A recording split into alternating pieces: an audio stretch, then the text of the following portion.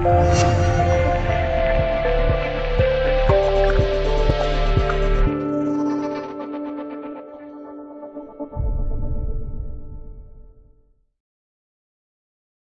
月二十四日，潍坊发布推送信息称，日前省委批准田庆莹同志任中共潍坊市委委员、常委、副书记。七月二十四日，山东省政府网站发布七份任免通知。山东省人民政府关于任免张成波等工作人员职务的通知，鲁正人，二零一八七十八号，济宁医学院。山东省人民政府决定任命。张成博为济宁医学院院长，试用期一年；于锦科为济宁医学院副院长，试用期一年，免去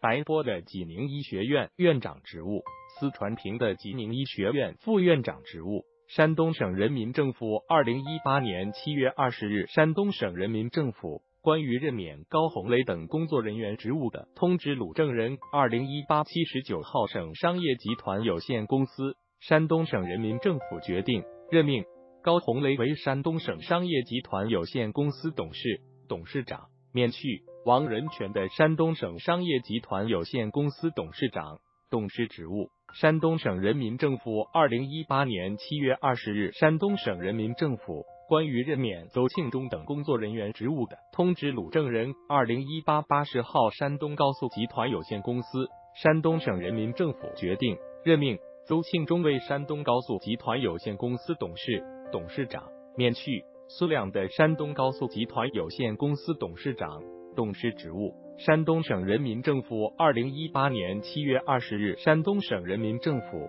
关于任命安文件职务的通知录证人。二零一八八十一号，省经济和信息化委，山东省人民政府决定任命安文件为山东省经济和信息化委员会副主任，试用期一年。山东省人民政府二零一八年七月二十日，山东省人民政府关于免去高红雷职务的通知录证人。二零一八八十二号，省煤田地质局，山东省人民政府决定免去